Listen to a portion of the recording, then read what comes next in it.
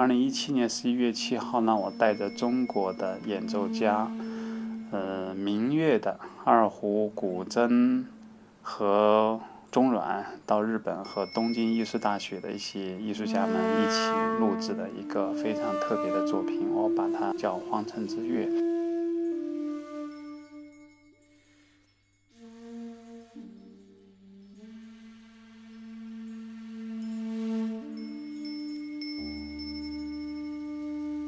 我希望让我们中国人看到不同的文化，看到甚至看到曾经是中国的文化，但是到了别的国家，为什么变得不一样了呢？就是我在想，一千三百年前的唐朝如此的强盛，全世界到中国来学习，包括我们旁边的日本这个国家。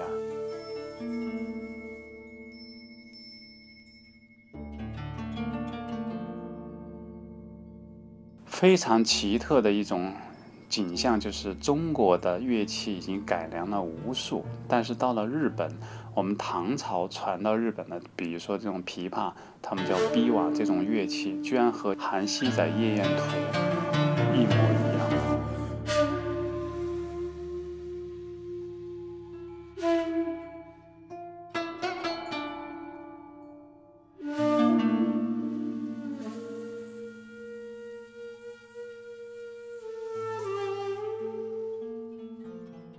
一。千多年都不改变是为什么呢？是他们很保守、很传统吗？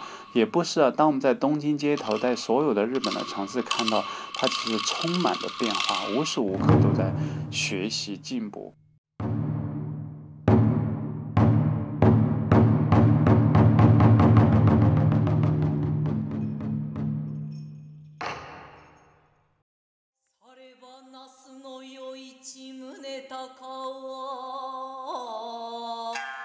やむなく五条かしこみつ。やがて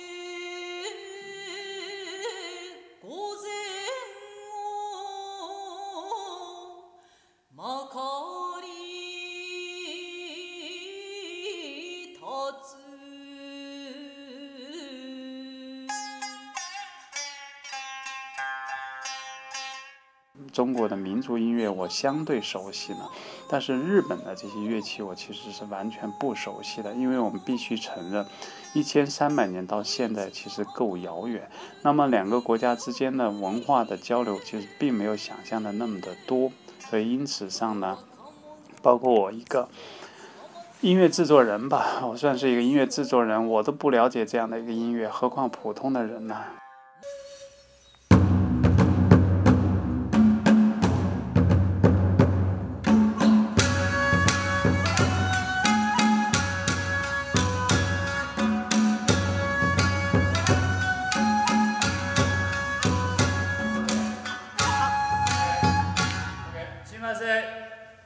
大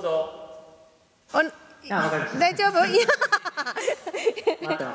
い、今大丈夫ですか？はい、いいですよ。はい、じゃあお願いします。あの、可以吗？可以了。嗯。One, two, three。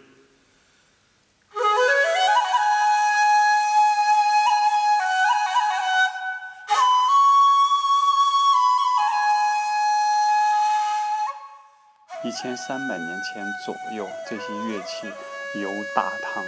以及后来的宋朝传到了日本，然后成为今天日本整个民族的国宝型的这种乐器。他们把这种乐器叫邦乐，那我们呢，把这种乐器叫民乐。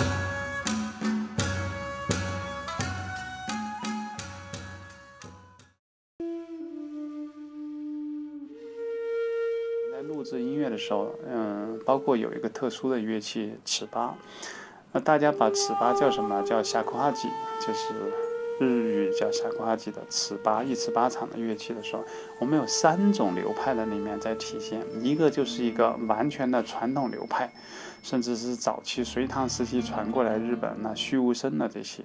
那另外一种呢，就是山野的，日本拿这个尺八乐器做一些山野的民谣的民谣的一种表现。那还有一种就是我们说可以拿来即兴的这么一个流派。所以在这个三个年轻的艺术家当中，他们都是尺八的传人。那我们感受到的日本的，也是在这个今天这个互联网时代的不同的这种属性，就是它有非常严谨的传承的一种。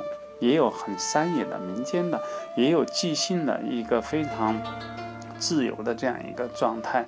我想这就像是今天我们看到的日本的状态是这样的。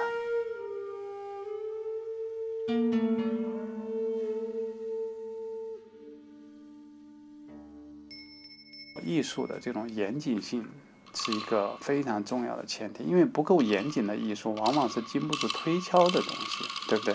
但是如果只有严谨，缺乏了浪漫天真，那就意味着它不是一个艺术了，它更多像是一个技术。在艺术和技术之间，我们要去寻求一种平衡的话，其实不是在技术上的平衡，而是我们在文化上的一种平衡。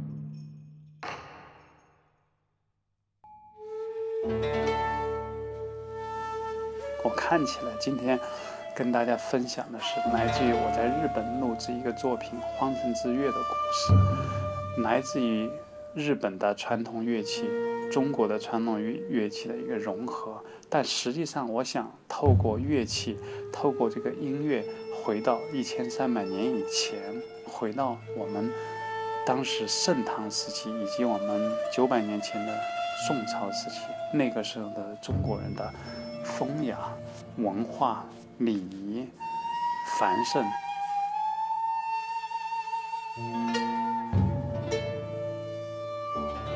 我们丢失了太多，丢失了历史，丢失了文化，丢失了最基本的礼仪。好在这些东西在日本还有所保存，我们可以去那里去找回来，寻找回来我们祖先的、我们曾经的太多美好的这些记忆。那我呢，用音乐的名义，用音乐的方式去为大家去寻找。当我们把这样的东西寻找回来的时候，又通过音乐一个个传递给大家。我相信，最后大家感受到的不只是音乐的魅力，而是我们祖先曾经的辉煌和我们的骄傲。